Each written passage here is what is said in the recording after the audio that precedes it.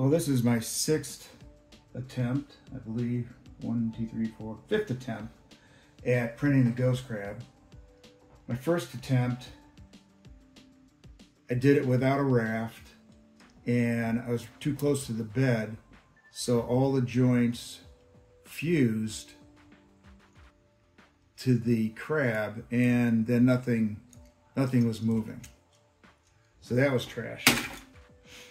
That was even after I printed a test piece, but even with my test piece, uh, it was, there's a lip here. I was just way too close to the bed when I printed it. So this test piece printed at 100%. Uh, the joints worked, but they don't pop out like they're supposed to. Since then, I've printed a couple times and done some stuff.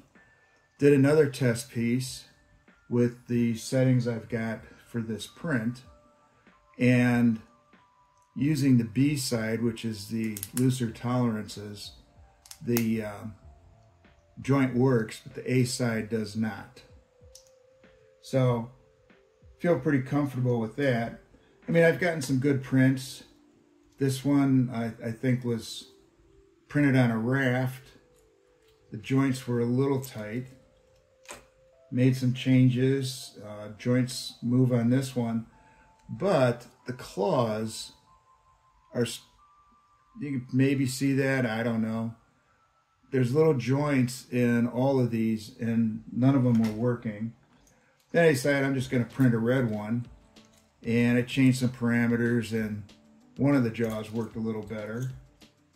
So this time I've changed it with the horizontal ex expansion and uh, let's see how it turns out. And I also just printed it directly on the, uh, the bed. I did not use a raft with this one.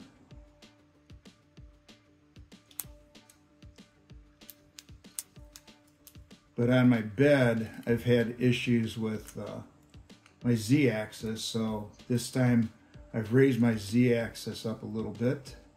I think it was 0.5. Maybe could have gone just a little further because there's like a, a film right here.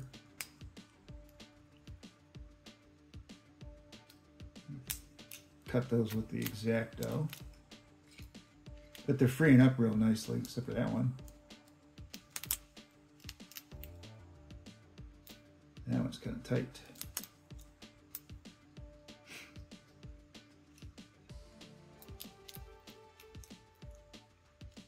You can see it's kind of fused into the uh, piece. There we go.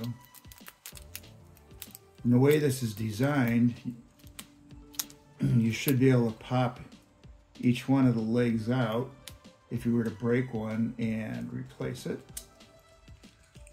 Key thing on this print, using the horizontal uh, thing, was I was wanting to see if the this would free up my claws and my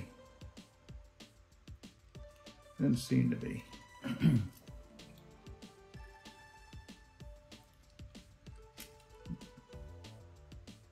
Putting quite a bit of pressure on those and they're not moving. At least on some of my other prints, the uh, claws, you can see there's a joint and then there's another joint for the claw itself, but they're not freeing up for me, so. And then each one of these is uh, supposed to move also. So maybe they'll free up when I play with it, maybe they won't. If not, this will be the crab. And there's a way you turn the, the legs.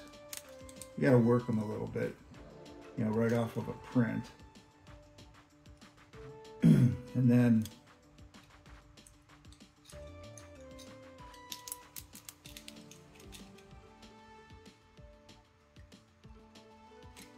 the little guy will stand up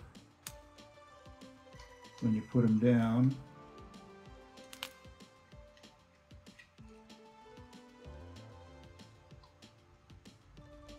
So it's kind of a neat little print. I like it. It's fun. If I can get the claws and whatnot to move, it'd be a little more interesting. So there you have the ghost crab.